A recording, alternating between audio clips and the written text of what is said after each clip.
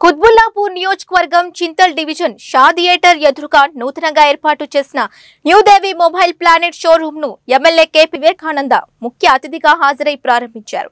నిర్వాహకులకు శుభాకాంక్షలు తెలుపుతూ వినియోగదారులకు వినియోగదారులకు నాణ్యతమైన వస్తువులను సరసమైన ధరలకు అందించి వారి మెప్పు పొందాలన్నారు.